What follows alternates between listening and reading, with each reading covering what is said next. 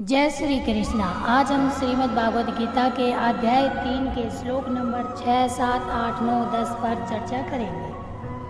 कर्मे इंद्रियाणि संयम्य यह आस्ते मनसा समरण इंद्रिया अर्था अनविमूढ़ात्मा मिथ्याचरस उच्यते। इस श्लोक में भगवान श्री कृष्ण अर्जुन से कह रहे हैं कि जो व्यक्ति अपनी कर्म इंद्रियों यानी कर्म करने वाले अंगों को रोकता है, लेकिन फिर भी मन से इंद्रियों के विषयों को स्मरण करता है। वह एक प्रकार से भ्रमित होता है और उसे मिथ्याचारी कहा जाता है। यानी वह व्यक्ति बाहर से तो त्याग दिखाता है, परंतु भीतर से उसकी इच्छाएँ अब भी सक्रिय रहती है।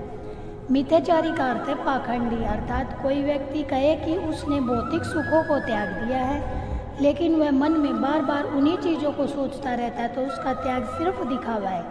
असली त्याग तब होता है जब मन से भी उन इच्छाओं का नियंत्रण हो। इस श्लोक से हमें यह सीख मिलती है कि हमें न केवल अपने कर्मों को संयमित करें, बल्कि अपने मन और विचारों पर भी नियंत्रण रखें। यस्ति तव इंद्रियाणी मनसा नियमार पते अर्जुन। कर्मे इंद्रिय कर्म योगम सक्त स विषयते। इस श्लोक में भगवान श्री कृष्ण कर्म योग की महत्व को समझा रहे हैं।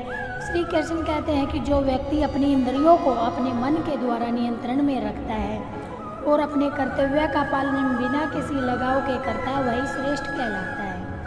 नियतम कुरु कर्म, तवम कर्म जयायो हय कर्मण। शरीर यात्रा भी च तेन प्रसिद्ध येद कर्मण। अर्थात अपने नियमित, नियत कर्म को करो, क्योंकि कर्म न करने की तुलना में कर्म करना श्रेष्ठ है। कर्म किए बिना तो तुम्हारी शरीर यात्रा भी पूरी नहीं हो सकती। इस श्लोक में श्री कृष्ण अर्जुन को कर्म की महत्ता बताते हुए समझाते हैं कि कर्म से बचना अर्थात कर्म न करना उचित नहीं है। यहाँ कर्म के बारे में तीन महत्वपूर्ण बातें बताई गई है। नियत कर्म। हर व्यक्ति का कुछ कर्म निश्चित होता है, कर्तव्य होता है, जिसे करना आवश्यक है। इसे नियत कर्म कहा जाता है। कर्म का महत्व, यदि हम कुछ भी कर्म न करेंगे तो हमारी मूलभूत आवश्यकताओं की पूर्ति भी नहीं होगी। कर्म की श्रेष्ठता। कर्म करना हमेशा अकर्म से श्रेष्ठ होता है। सीख, कोई भी परिस्थिति हो, हमें हमारे कर्तव्यों का पालन करते रहना चाहिए। यही सही जीवन जीने का मार्ग है।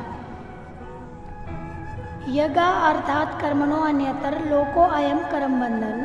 तद अर्थम कर्म कौनते? मुक्त संग समाचार।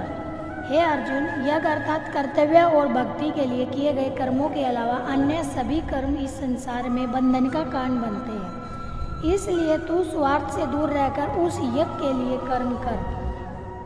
यहाँ यज्ञ के लिए कर्म का अर्थ है जब हम अपना कर्म किए कर्म बिना किसी व्यक्तिगत लाभ की इच्छा के लिए करते हैं, वह कर्म यज्ञ का रूप ले लेता है। यज्ञ अर्थात पवित्र उद्देश्य है। कर्म से बंधन, जब व्यक्ति अपने किसी स्वार्थ के लिए कर्म करता है तो वह कर्म के फल की चिंता में फंस जाता है और उसका परिणाम जन्म जन्मांतर के बंधन के रूप में होता है। मुक्त कर्म। जब कोई व्यक्ति किसी फल की इच्छा के बिना कर्म करता है, वह बंधन से मुक्त हो जाता है। इस श्लोक से हमें सीख मिलती है, हमें अपने कर्मों को समर्पण कर्तव्य और भक्ति की भावना से करना चाहिए। स यज्ञ प्रजा सृष्टवा पुरोवाच प्रजापति।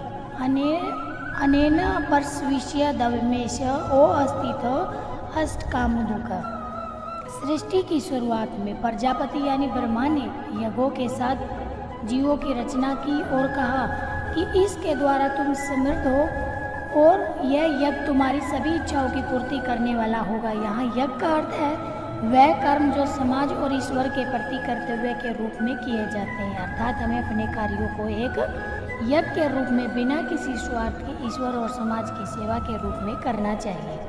हमारे साथ गीता ज्ञान की खोज में जुड़े रहने के लिए धन्यवाद। राधे राधे।